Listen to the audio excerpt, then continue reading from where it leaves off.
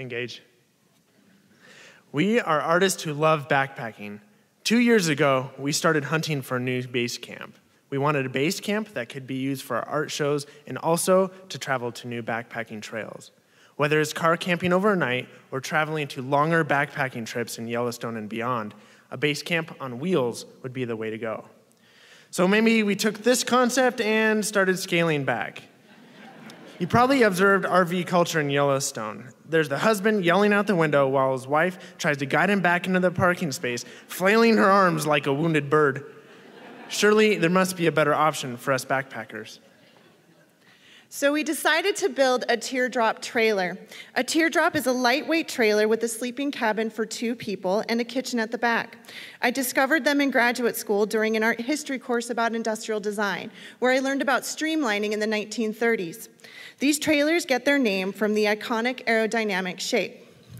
At first, Mark took a little convincing when I said, Honey, do you think we could build one of these? I'm really serious. But in no time, Mark was obsessed like me. Teardrops have everything we could want in an RV. One, we can pull it with our Subaru. Two, we can enjoy the luxury of a kitchen and a mattress and still be outside. And three, it's got lots of style. Teardrops date back to the Great Depression. Throughout the late 1930s, DIY magazines published blueprints, and eventually manufacturers started selling ready to assemble kits. Here is a 1947 article from Mechanix Illustrated, and it's one of the most popular with teardrop fans. Teardrop trailers have become super popular recently. There's a wide variety of DIY kits, and teardrops come in many different shapes and styles. Here are totally some examples from a Pinterest rabbit hole Kelly fell into when searching for inspiration. so, when you're looking to build one, where do you even start? How about this trailer I already owned?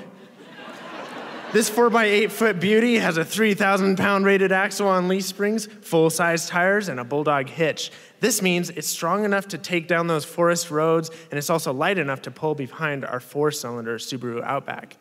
Find trailer? Check. Now what? Bring on Google SketchUp CAD software. It's way cheaper and faster to make mistakes on a computer than in real life. So we can tweak those curves and design until the proportions are just right. It also allowed me to figure out all those router joinery details that I planned and then easily transfer them onto the real wood later. We modified the geometry of the trailer frame, and Mark added a spare tire system from a Toyota 4Runner. Then we painted the frame, and then we painted it a second time because the first coat, it didn't stick. We sealed the floor with FRP and then built a substructure of 2x4s with foam insulation. Using the CAD drawing, we printed a life-size paper template. We glued it to a piece of masonite and then used it to trace the sidewalls, doors, and to mark where to router the joints. Once the pieces were cut out, it was my job to sand and paint poly, sand and paint poly, sand and paint poly, and sand. To make this trailer strong and watertight, as well as show off that birch plywood, we coated the sides and top with marine grade epoxy and fiberglass. It's the same technique you may have seen used on a wood drift boat. Simply apply layers of epoxy, fiberglass, and spar varnish for days and days. This may have been the most stressful part of the build, where months of CAD drawings become reality. You know, I thought we could assemble it ourselves, but Kelly disagreed with me and called my friend for help. She usually knows best.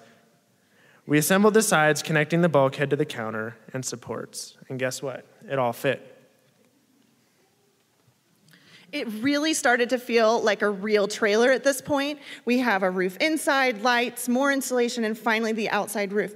We had no idea if we were actually going to be able to bend the plywood, so our strategy was to go slow, use lots of glue, lots of clamps, and a little duct tape for good measure. And now we started to work on the hatch, and under the hatch is the kitchen. I really felt like we were on the home stretch, but I was totally wrong. Building the hatch took nearly as much time as building the entire trailer up to this point. It presented us with quite a few challenges, but we trudged ahead with our trusty template. And the hatch saga continues. You can see I lost quite a bit of hair due to pulling it out working on trailer wiring. This is the back of the trailer, you know, where the license plate light and the tail lights are mounted.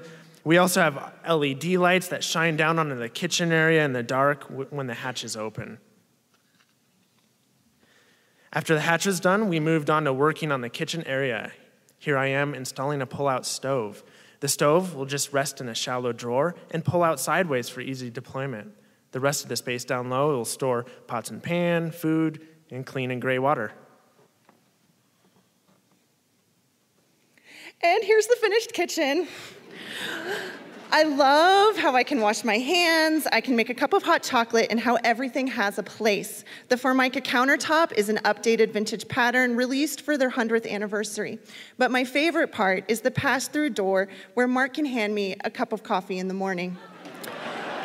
the, the cool features continue into the cabin with four inch foam cushions, a duvet made from my grandmother's quilt, reading lights, and phone chargers.